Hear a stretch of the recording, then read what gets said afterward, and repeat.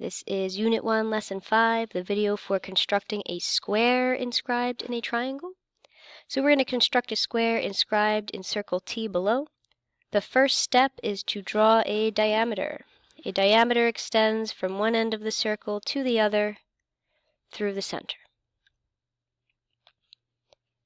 So basically the part of the square that we have just drawn is one of the diagonals.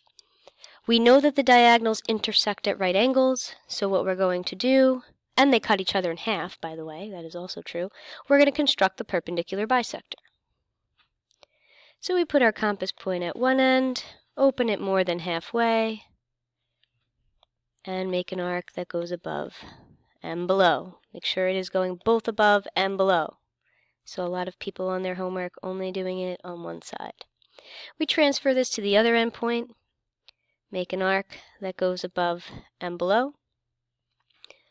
Where those two arcs intersect, we can put points, and through those two points, we can put a line.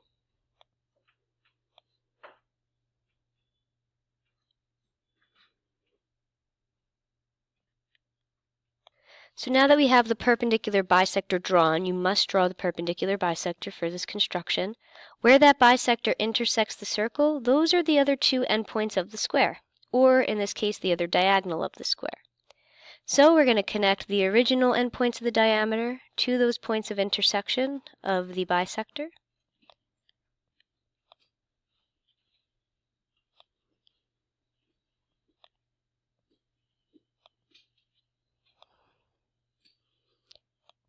Having all sorts of technology issues right now. And there is our square inscribed in a circle. We're going to practice this again two more times. Um, in these two examples, they want you to use a given point on the circle. Um, so if you want to pause this and try this on your own before watching um, and getting help, you can do that. Um, or you can watch and then pause for the next one. So the first step is to draw a diameter. I'm going to draw a diameter so that P is one of the endpoints. The reason I'm doing that is it told us to label our square PQRS specifically. So I need one of the endpoints to be P. Drag my compass down. Again, the diameter represents one of the diagonals of the square. What do the diagonals of the square do to one another? They bisect each other and they are perpendicular to one another. So we are going to construct the perpendicular bisector of the square, or of this diameter that we've drawn.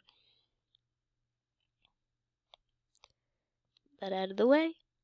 So where those two inter arcs intersect, you can put points, and through those two points, you can put a line.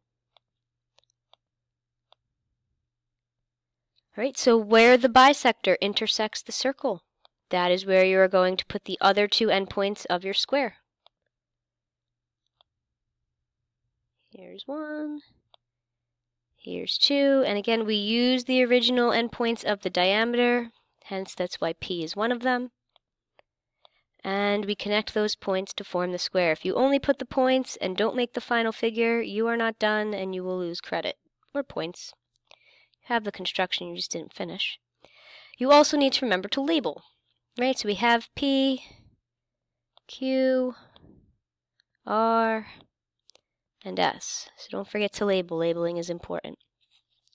We'll do this one more time. Construct a square, in circle T, or construct a square TEMP in circle G below. Don't know what happened on my problem. Okay, so the first step is to draw a diameter. Again, we want T to be one of the endpoints of that diameter.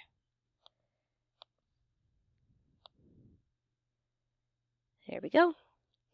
We're going to do the perpendicular bisector. The diagonals of the square bisect each other and are perpendicular to one another, so make sure your compass is open more than halfway. Make an arc. Transfer your compass to the other endpoint of the diameter. Make an arc. We're going to draw a perpendicular bisector through the two points of intersection.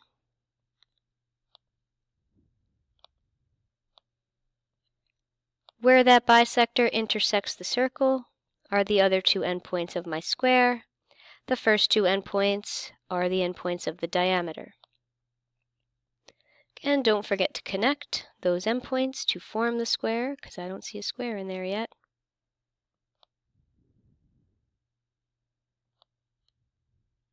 And don't forget if it asks you to label, to label. So they wanted this labeled T-E-M-P.